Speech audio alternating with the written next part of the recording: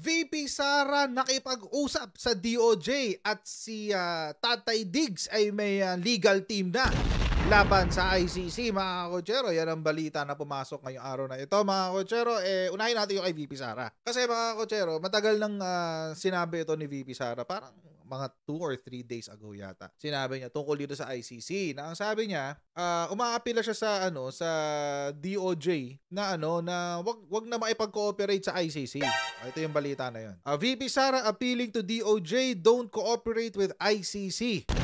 Kaya November 28 po 'yan. November 28. So a couple of days ago. Sinabi, uh, Vice President Sara Duterte stressed her office would continue to assert its position against cooperating with the ICC investigation into her father's uh, drug war. Yan ang sinabi ni VP Sara uh, sa ano sa DOJ. Uh, while maintaining that President Marcos's uh, foreign policy decision should be followed, Vice President Sara Duterte said she would urge the Department of Justice not to cooperate with the ICC. And uh, na ano na natin to, na na-topic na yata natin to nung, ito, nung 28 din. oh, halos daily naman tayo gumagawa ng video eh. So, nung sometime around November 28, nagawa na natin tong ng video. Sumagot po dito ang DOJ. Dito sa, ano to, sa sinabi na to ni VP Sara. Ang sinabi po ng DOJ, walang problema, no need. No, no need na, ano, na sabihin nyo pa sa amin yung inyong posisyon. Kasi, uh, yun ang sabi nila. Eh. yun ang sabi ng DOJ. Sabi, DOJ spokes no need for VP Sara to insist on ICC stance. Sabi, hindi naman po kailangan mag-request dahil hindi naman po nagbago ang stance ng DOJ. Hindi naman daw nagbago ang posisyon ng DOJ, eh, sabi ni, uh, sino ba to? Attorney Miko Clavano. Ayan. Spokes ng, ano, ng DOJ. Kailan to sinabi? Ano, November 28 din, hapon. This came after Duterte on Monday said she would continue to reach out to the DOJ regarding her position that the Philippines should not cooperate with the ICC in its investigation of killings attributed allegedly to the Duterte administration's war on drugs. At uh, syempre hina-highlight nila dito paulit-ulit eh yung dahil nga doon sa sinabi ni presidente na understudy ang uh, pagbalik ng Pilipinas sa ICC.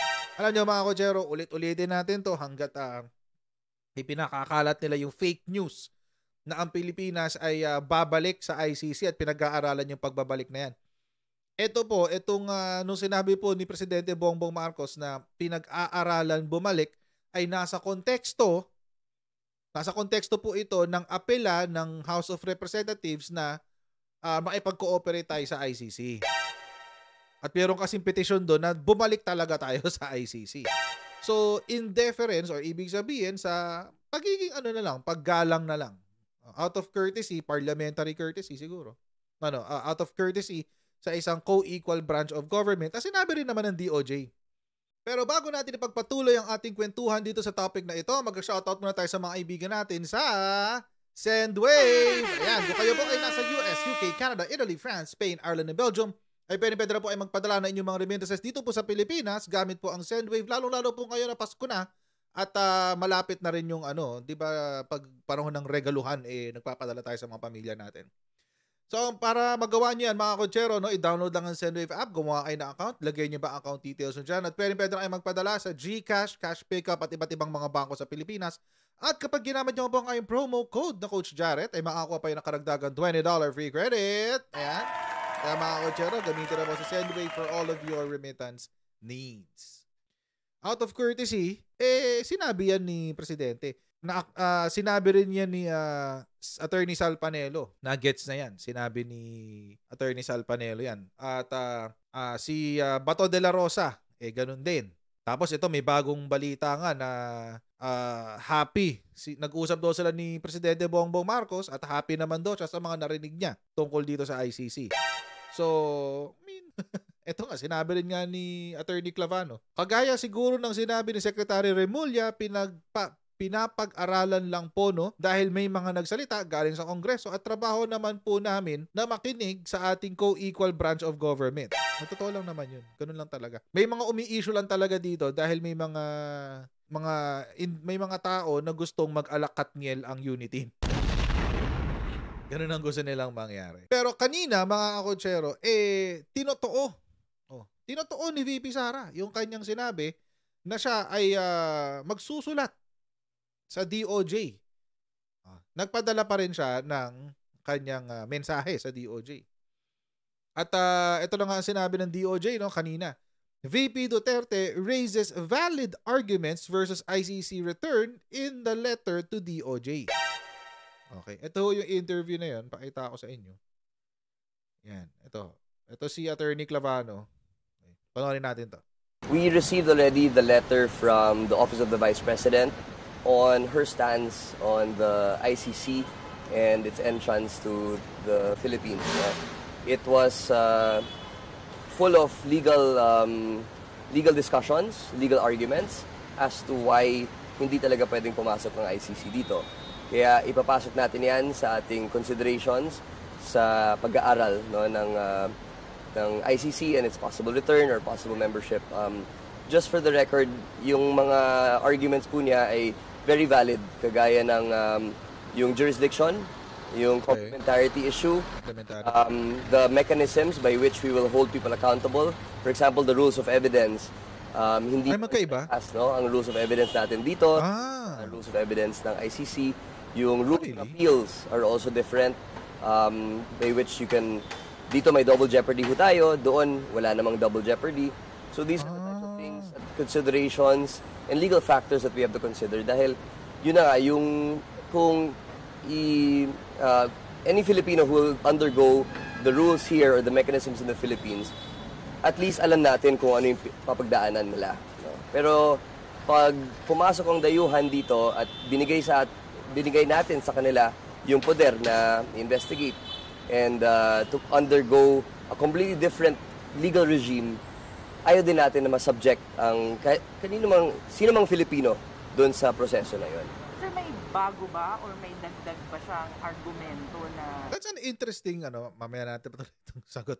Pero very interesting yung ano na yun ha, yung uh, kasi we hindi masyado na pag-uusapan yung uh, yung pagkakapareho ng well, essentially the rules of court ng Pilipinas at saka ng rules ng ICC.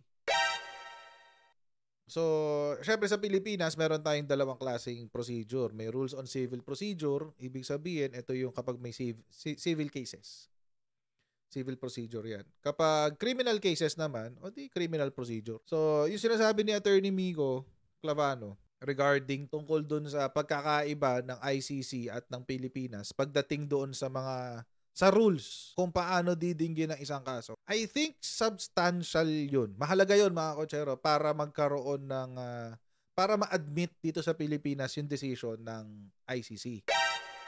For example, of course this is not ICC pero yung uh, human rights cases na ifinail laban sa estate ni Ferdinand Edralin Marcos ng grupo ni Eta Rosales. Kung naalala nyo pa yon.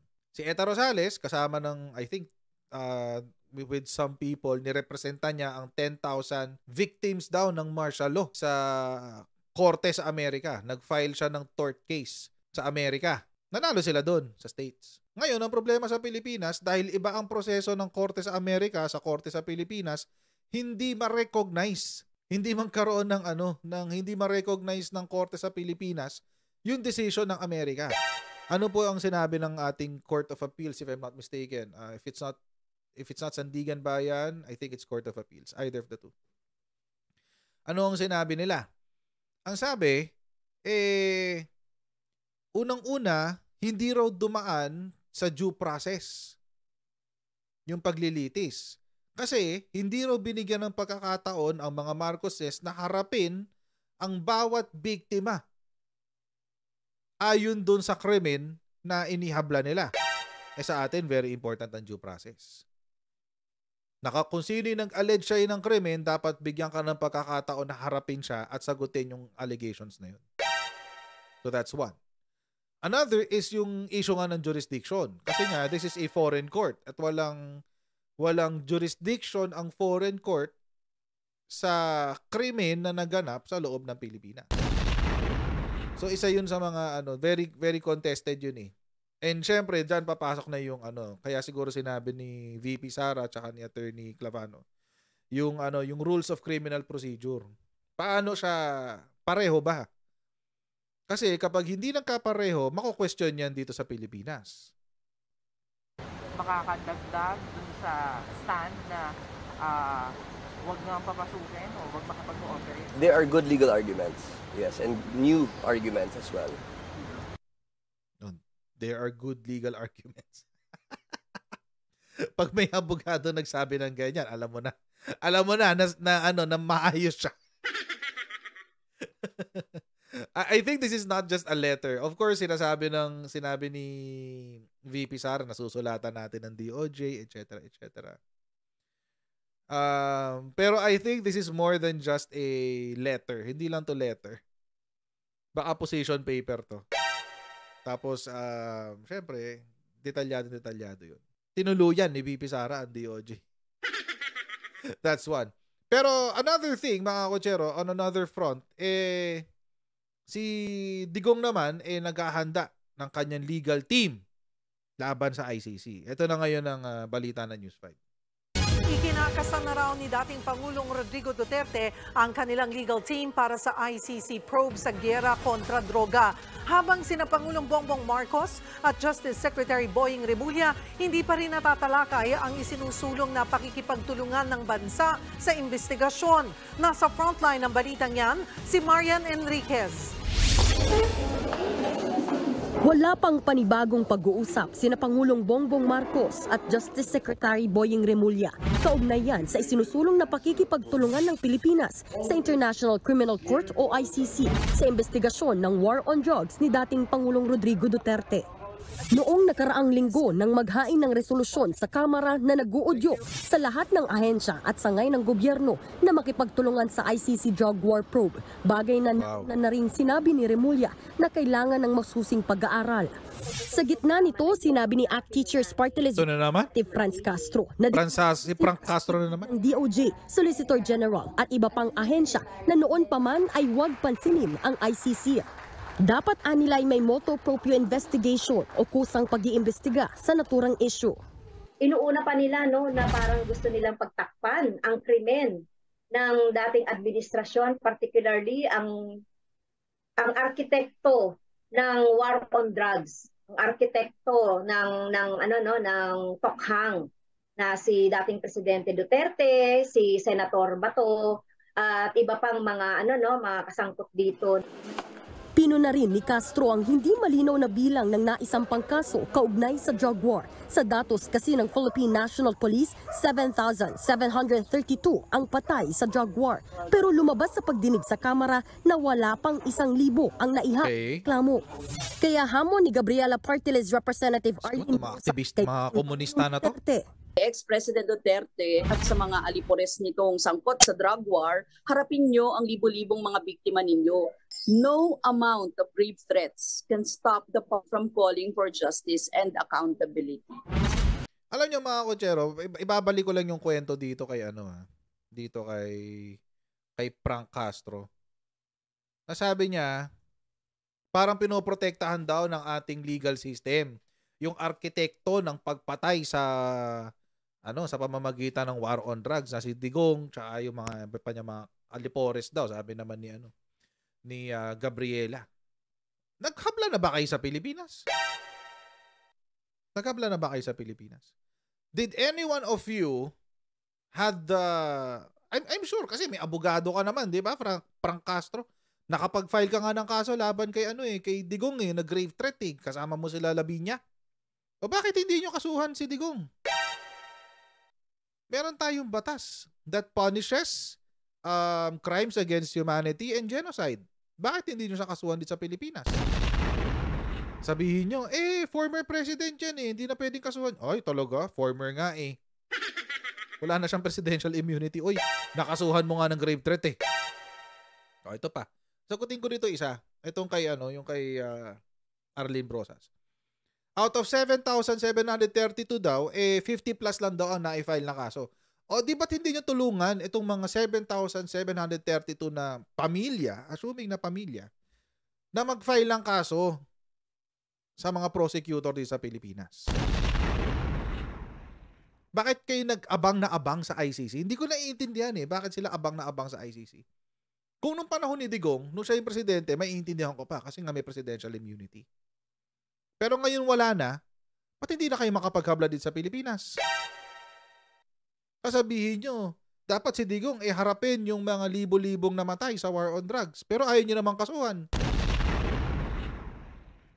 Gabriela Partiles Representative Arlene Brosa. Skip na natin yan. Arlene Brosas na naman yun eh. Justice Yun tanging Human Rights Commission pa lang ang naghayag ng suporta at pakikiisa sa ICC probe. Kahapon naman sinabi ni Senador Bongo na dating special aid ni dating Pangulong Duterte, ikinakasa na rin daw ni Duterte ang kanyang legal team para sa ICC. Handa naman daw humarap sa Kongreso si Duterte. Hindi po namin napag-uusapan yan, yan bagay na. At may, I'm sure uh, kausap niya po ang kanyang uh, legal team. Depende Yun, po sa may legal team na. kung imbitahan siya ng uh, uh, ng chairman at uh, kung willing naman po siyang magsalita at mag uh. It's up to him. Bigay natin sa kanyang uh, what is uh, due to our former president na nagtrabaho po para sa ating bayan. Kaya sabi ko, Pilipino po dapat humusga sa kanya. Hindi po banyaga. Nagbabalita mula sa frontline, Marian and So yun mga kochero, well, akin lang, let, let's not romanticize it anymore. It, it is what it is. Kung talagang merong kaso laban sa kanila, eh file na nila. Di ba? Itong mga humihiling sa kung kanino-kanino na mag-file lang, na makipag-cooperate sa ICC, mag-file na kayo ng kaso dito sa Pilipinas. Habang gumuguling yung sa ICC, eh mag-file na kayo dito sa Pilipinas. Alam niyo kung bakit ayaw nila mag-file sa Pilipinas? Kasi gusto nilang ipagpatuloy yung naratibo na walang ginagawa ang gobyerno para makamit ang hustisya. Kasi hanggat yon ang pinapaniwalaan ng buong mundo, hanggat hindi nakikita ng buong mundo na may nakafile na kaso, eh tuloy-tuloy lang yung ganong naratiba. Di ba nakaka-insulto ng kataninuhan? Hindi ko nga alam kung ba't hindi magets ang ICC yan eh. Tapos magsasalita yung UN rapporteur na tanggalin ng NTF-ELCAC, yung mga kung sino-sino bumibisita dito na magsasabi sila na ito yung gawin nyo, ito yung gawin nyo. What the heck? Who do you think you are? China nga, inaaway sa West Philippine Sea. Kayo pa. anyway.